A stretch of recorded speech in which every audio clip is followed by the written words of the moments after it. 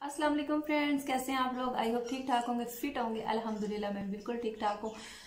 तो first of all जो channel पे न्यू है प्लीज़ सब्सक्राइब कर लें। वीडियो अच्छी लगे तो लाइक करें और दोस्तों के साथ शेयर करें।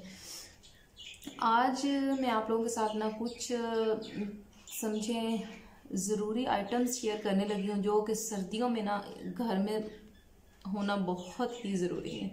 ठीक है? कुछ ज़रूरी चीज़ें हैं, सामान है, सर्दियों का जो ले लें, कपड़े, मोज़े और, जो स्वेटर शॉल्स तो लेनी ही लेनी है।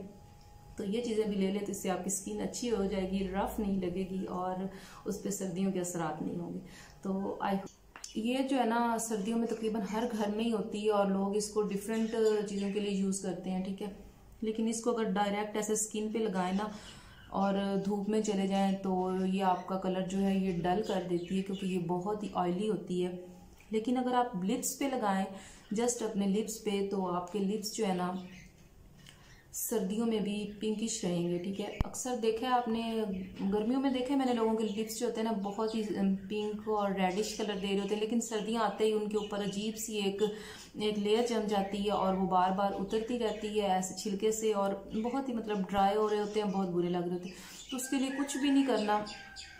बस ये है कि हम हाउस वाइफ जो होती हैं ना, बस थोड़ा छोटी छोटी चीज़ों को इग्नोर कर देती हैं अदरवाइज़ बात इतनी बड़ी नहीं होती। बस ये लेना है आपने हल्का सा और लिप्स पे ऐसे लगा लेंगे वैसलीन, ठीक है?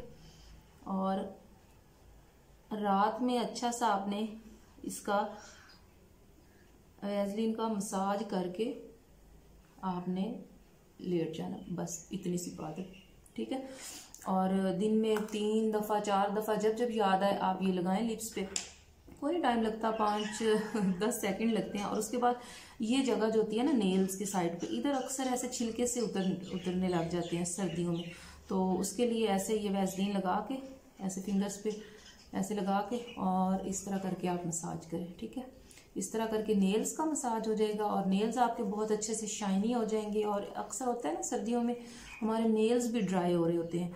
और इस तरह करके अपनी ये फिंगर्स की जो ये नेल्स की साइड पे जगह होती है, यहाँ इधर मसाज करेंगे तो बहुत ही ये जो आपकी जगह है ना, ये ऐसे हेल्दी एक लुक आएगी। और इधर ड्राइनेस बहुत होती है और ये जगह ब्लैक बहुत हो जाती है तो वो भी नहीं होगा। तो ये दो काम आप कर लें, ठीक?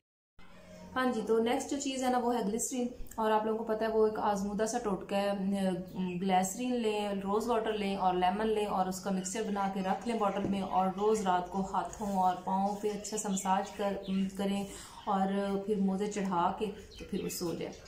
वो भी बड़ा बेस्ट है।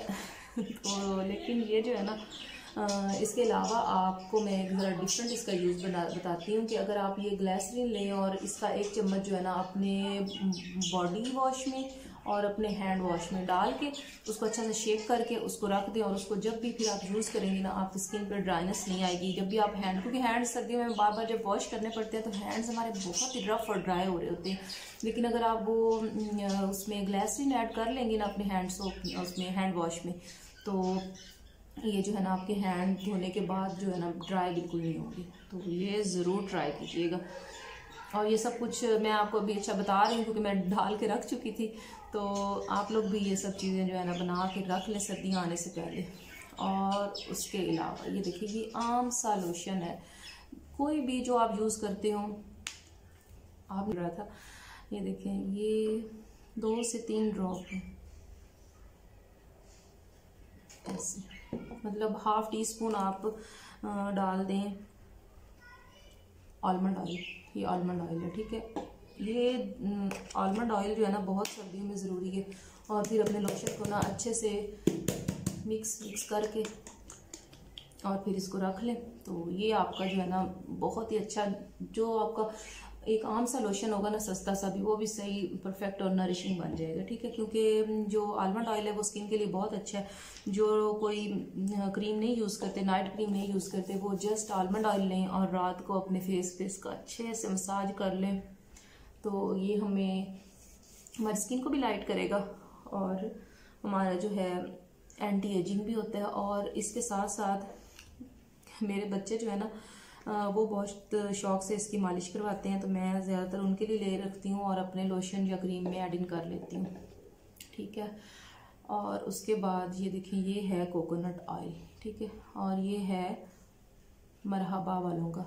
और कोकोनट ऑयल की पहचान ये है कि सर्दियाँ आते ही ये जमने लगता है। ये देखें ये ऑयल नहीं है, ये अंदर सारा जमा हुआ है तो कोकोनट ऑयल जो है ना, ये हमारी स्किन के लिए बहुत अच्छा है। ये मैं निकाल के दिखाती हूँ आप लोगों को। ये देखें ये इस तरह करके जम गया है।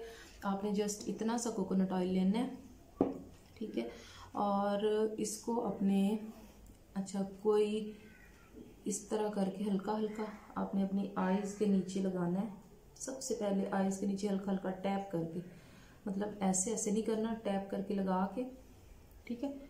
टैप करके लगाना है तो ये आपकी बेस्ट मतलब दुनिया की बेस्ट आई क्रीम है, क्योंकि हमारे जो है ना, जो स्किन पे रिंकल्स आते हैं ना, सबसे पहले वो आईज पे आते हैं, ये क्रोस फीट बन जाते हैं। तो इससे जो है ना, आपकी जो अंडर आई एरिया है ना, वो बहुत सॉफ्ट होता है, और ये बाकी जो है ना, इसको आप इसी तरह पाम रब करके और आप अपने जो है ना फेस पे मालिश कर लें अच्छे तरीके से। और मालिश आपने इस तरीके से करनी है, ये ये इस तरह चीक्स पे, इस तरह चीक्स पे, ऐसे अपवर्ड आउटवर्ड करनी है और या फिर इस तरह सर्कुलर मोशन में, ठीक है? इस तरह करके आपने सारे फेस पे मालिश कर लेनी है अच्छे से, ऐसे मसाज करके। और जितना अच्छा मसाज से हमारी जो है ना ब्लड सर्कुलेशन एक बहुत अच्छी होती है तो वैसे ही एक अच्छा सा ग्लो आने लग जाता है।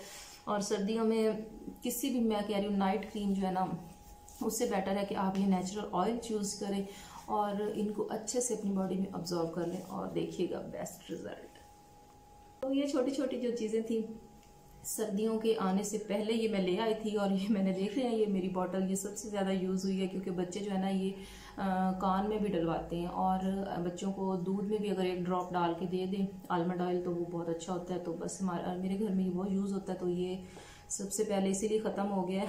तो ये कुछ ज़रूरी चीज़ें हैं सामान है सर्दियों का जो ले लें कपड़े मोज़े और जो स्वेटर शॉल्स तो लेनी ही लेनी है। तो ये चीज़ें भी ले लें तो इससे आपकी स्किन अच्छी हो जाएगी रफ नहीं लगेगी और उस पर सर्दियों के असरात नहीं होंगे।